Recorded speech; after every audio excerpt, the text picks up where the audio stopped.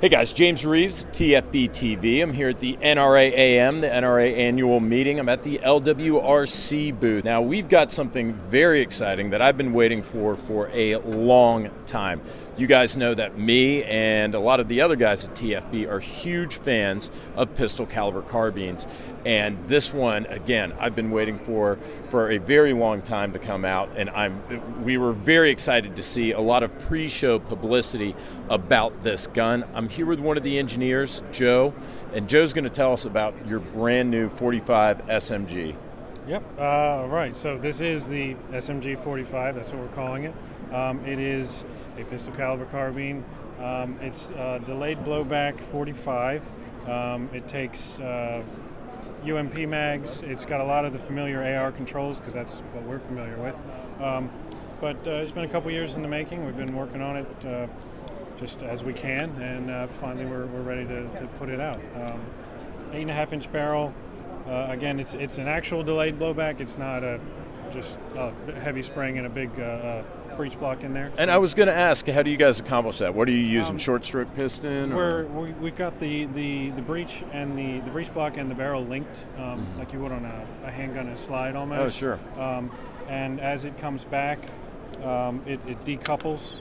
Uh, it's about a quarter inch of travel, um, and it just slows the thing down just if, enough if, to well, lower not, this. not yeah. even just enough. If you if you did it, if you used the same spring and weight setup that we have now, and you fired it without having the barrel and the breech block coupled, uh, we pretty much half the, the, the, travel speed of the um, the velocity of the, the breech block. Backwards. Oh, cool. So it's much more controllable than it is, you know, without the linking. Um, so what does that amount to in terms of cyclical rate on full auto? Um, we're about 650 to 700 um, okay. RPM on it, which is pretty manageable. Um, oh, absolutely. It's, uh, it's fun. Yeah, yeah. And then I see uh, you've got a threaded barrel. Is yes. that going to come standard yep, on all the yep. models? Um, they'll come threaded. Uh, we're shipping with thread protector.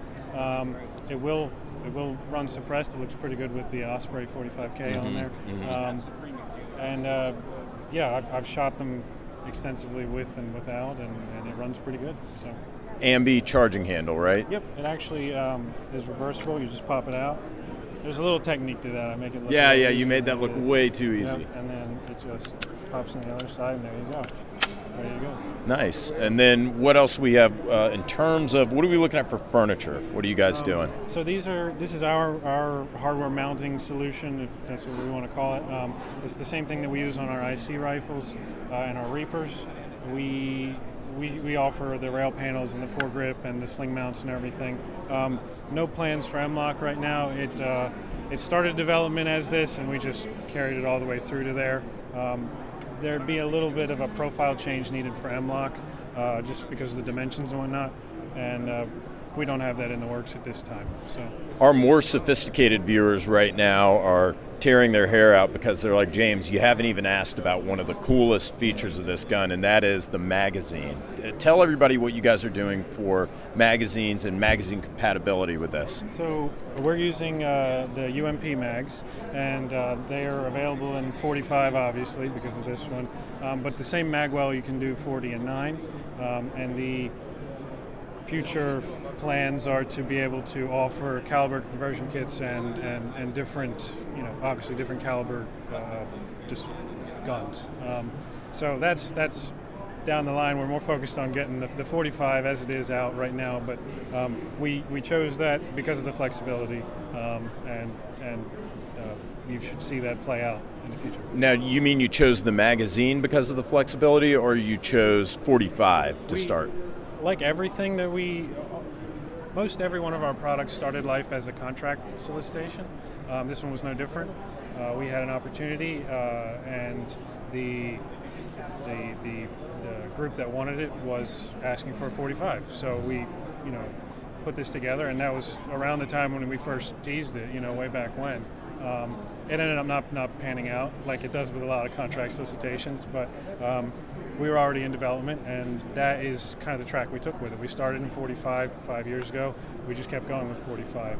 Sure. If we'd started it today, we probably would have started in nine. But um, as it is now, this is this is what we've got, and it kind of sets it apart at this point. Yeah, and uh, I got to say, this is the only 45 I think ever that I've been pumped about. So I'm really excited to, to see you guys come out with this. So when can I get it, and how much is it going to cost me? So MSRP is right up around three grand. Um, so it's uh, it's up there, but uh, we these are the first of the production run.